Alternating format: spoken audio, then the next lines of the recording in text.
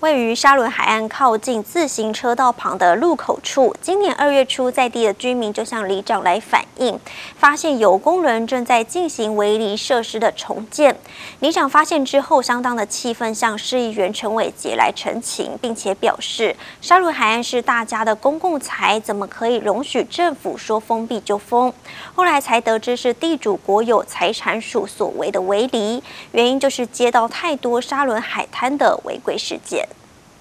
位于淡水沙仑海岸靠近自行车道旁的路口处，今年二月初，有在地居民向里长反映，有工人正在进行围篱设施的建制，而里长发现后，相当气愤的向市议员陈伟杰来陈情，并且表示，沙仑海岸是大家的公共财，怎么能够容许政府说封闭就封？而后来才得知是地主国有财产署所为的违例，而原因就是接到太多陈情沙仑海岸的违规事件。但是里长也希望相关单位应该有更好的管理方式，并不是眼不见为净的封闭沙滩。对里长来讲，呃，我认为沙滩是属于公共财，应该是让每一位民众都可以进入到沙滩来在沙滩上面行走啦，或是舒压放松呃压力的一个地方，所以也。现请呃，国产署这边来将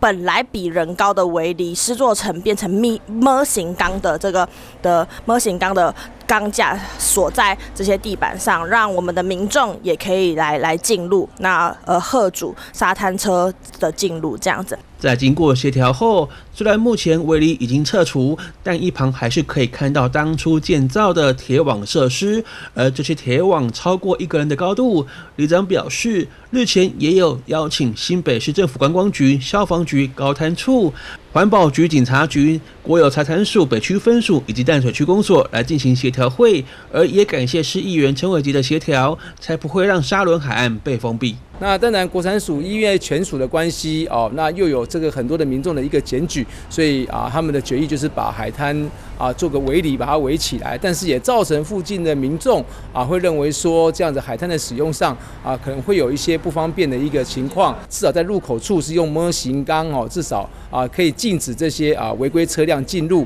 但是呢，民众还是可以来使用这样的一个沙滩。是否请是否看哪个单位可以认养这一片海滩啊？这第一个，第二个，那我。我也有提出说，那未来有这个沙轮文创园区，那是也请文创园区来认养这点沙滩哦，让这个沙滩可以连成一气。沙轮海岸每到假日就会吸引许多游客，虽然明文规定不能下水游玩，但是海岸美景更引来许多游客散步拍照。市议员陈伟杰表示。当初各局处都接到有检举沙滩车还有马粪、垃圾等情况，才会让国产署干脆直接封闭沙滩。而现在除了会将围篱改为模型钢车挡设施，让行人可以通过。由于沙仑海岸目前没有正确的管理单位，因此也要求市府要找到认养单位来维持沙仑海岸的环境品质。